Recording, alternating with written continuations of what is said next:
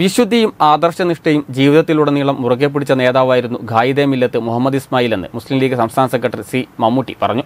മുസ്ലിം ലീഗ് സ്ഥാപക നേതാവായിരുന്ന ഖായിദെ മില്ലത്ത് മുഹമ്മദ് ഇസ്മായിലിന്റെ അൻപത്തിയൊന്നാം ചരമവാർഷികത്തോടനുബന്ധിച്ച് Muslim League Mavoor panchayat committee സംഘടിപ്പിച്ച അനുസ്മരണ സമ്മേളനം ഉദ്ഘാടനം ചെയ്ത് സംസാരിക്കുകയായിരുന്നു അദ്ദേഹം.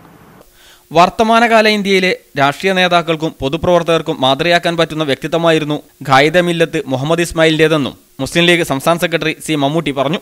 അദ്ദേഹത്തിന്റെ ഉൾക്കാഴ്ചയുടെയും ദീർഘവീക്ഷണത്തോടെയുള്ള പ്രവർത്തനവും ന്യൂനപക്ഷ രാഷ്ട്രീയത്തിനേറെ ഗുണം ചെയ്തിട്ടുണ്ടെന്നും അദ്ദേഹം പറഞ്ഞു. Muslim League Mavoor panchayat committee നടത്തിയ അനുസ്മരണ സമ്മേളനം ഉദ്ഘാടനം ചെയ്ത് സംസാരിക്കുകയായിരുന്നു അദ്ദേഹം.